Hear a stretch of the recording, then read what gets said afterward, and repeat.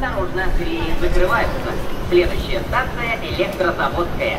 Станция электрозаводская Московского метрополитена открыта 15 мая 1944 года в составе участка Курская-Измайловская, ныне Партизанская, на действующем с 18 января 1944 года перегоны третьей очереди строительства.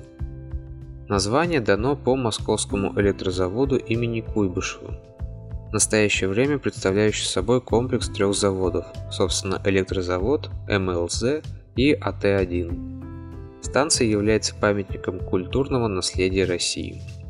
История проектирования станции электрозаводская связана с историей проектирования Покровского радиуса Московского метрополитена, который должен был начаться возле библиотеки имени Ленина и заканчиваться в Измайлове. Первый проект Покровского радиуса появился в 1932 году. После станции Курский вокзал планировалось построить станцию Гороховская улица, Бауманская площадь, Спартаковская площадь, Переведеновский переулок, Электрозаводская, Семеновская площадь, Мироновская улица и стадион. В декабре 1934 года была отменена станция Гороховская улица, а в марте-апреле 1935 Переведеновский переулок был переименован в Бакунинскую улицу.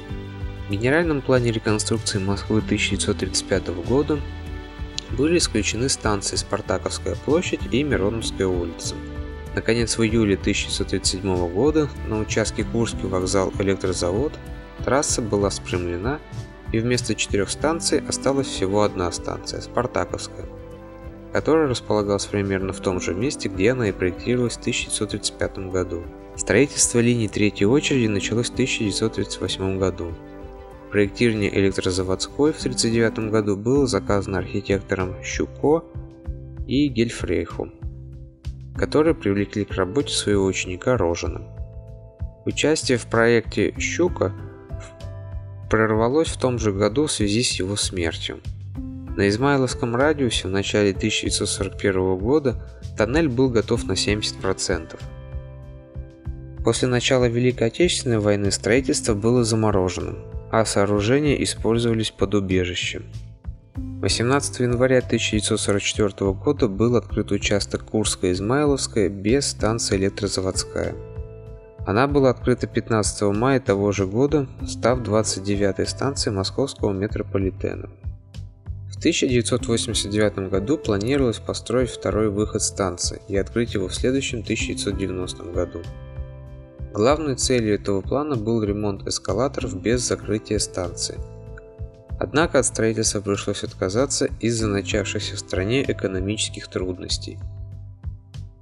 С 19 мая 2007 года по 28 ноября 2008 года станция была закрыта на годичную реконструкцию в связи с необходимостью замены эскалаторов, выработавших свой ресурс.